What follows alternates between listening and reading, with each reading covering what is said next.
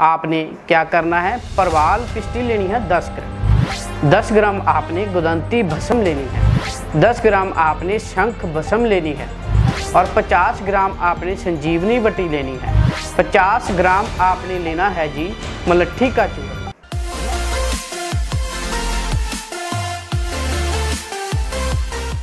धन बचे और धन बचे, रोग समूल न सजाए। मेरे भारतवासियों, देश का औषध खाएँ। मैं आपका दोस्त वैद्य देवन शर्मा, आयुर्वेदिक हेल्थ टिप्स में आप सभी दोस्तों का स्वागत करता हूँ। आज का जो टॉपिक है, वो है पुराने बुखारों का हो जाना। उसका इलाज ना होना। तरह तरह की दवाइयाँ खाना, फिर भी उसका इलाज ना होना।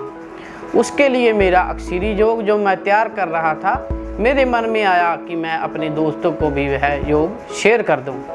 उसके लिए बहुत ही आसान फार्मूला है। आप किसी वैद्य हकीम से तैयार करवा करके उसके, इसका प्रयोग करें और बढ़िया इसका रिज़ल्ट है। आपने क्या करना है? परवाल पिस्टी लेनी है 10 ग्राम। 10 ग्राम आपने गुदंती भस्म लेनी है। 10 ग्राम आपने शंख भस्म लेनी है। और 50 ग्राम आपने संजीवनी बटी लेनी है। 50 ग्राम आपने लेना है जी मलट्ठी का चूर्ण यह आपका फार्मूले का योग तैयार है। आपने क्या करना है, इसको पहले तो सभी चीज़ों को अच्छे से भस्मों को रगड़ाई करनी है। रगड़ाई करने के एंड के एंड में जो आपने चीज़ डालनी है, वो है मुलट्ठी का चूर्ण उसकी भी बीच में रगड़ाई करनी है।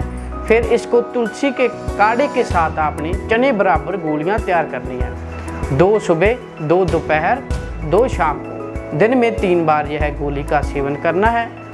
साथ में आपने गिलोय का काढ़ा सेवन करना है। इससे आपका पुराना जो मंद मंद बुखार रहता है, वो चंद दिनों में आपका समाप्त हो जाएगा। इसी प्रकार से हमारे नुस्खे आयुर्वेदिक बताए जाते हैं, आपको घरेलू नुस्खे बताए जाते हैं। और हमारे चैनल को ज़्यादा से ज़्यादा शेयर करें, लाइक करें, सब्सक्राइब करें।